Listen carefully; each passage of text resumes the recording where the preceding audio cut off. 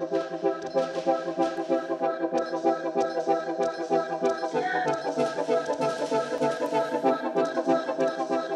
Trump administration announced today it's rolling back parts of the Endangered Species Act. Is making some of the broadest changes in years.